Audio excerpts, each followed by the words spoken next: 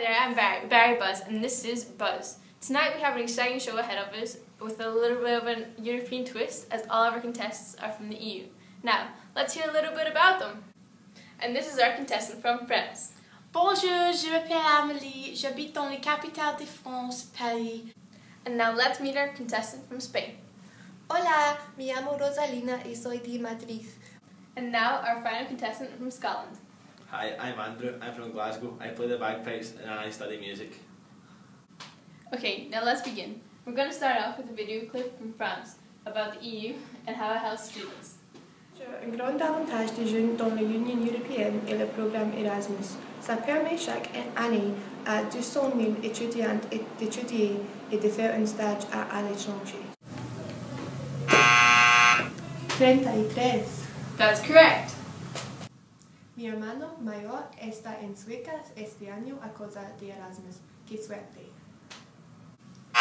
La France et la République. Les institutions de gouvernement de la France sont définies par la Constitution et en plus précisément par la Constitution actuelle, la Cinquième République. Now, Rosalina, and what about Spain? España es una monarquía constitucional gobernada bajo de la Constitución de 1978. El rey, que es el jefe de Estado, puede ratificar leyes, disolver la legislatura y proponer candidatos para el cargo de primer ministro. Great, okay, now we're moving on to our next question, and this time we've got a clip from the UK. In January 2012, politicians clashed over whether we had the power to hold a referendum on independence. A campaign for independence has begun and will take place in 2014. Scotland. Well done. Now we're all equal in one point each. I feel like this is going to be a close one.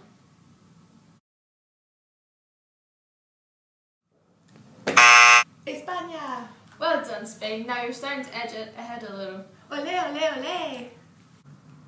Now, Andrew, what about Scotland's culture? Scotland is famous for bagpipes and kilts. Scotland is full of culture and history. The one thing I love about Scotland is the annual Edinburgh Fringe Festival that happens in August. It really brings the city to life. Great. Now, in France?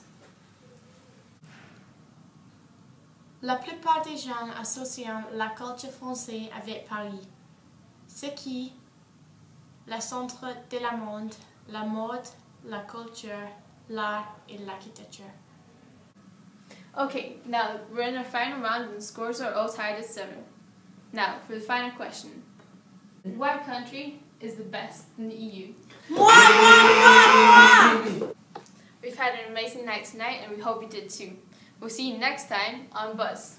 Au revoir! Adios!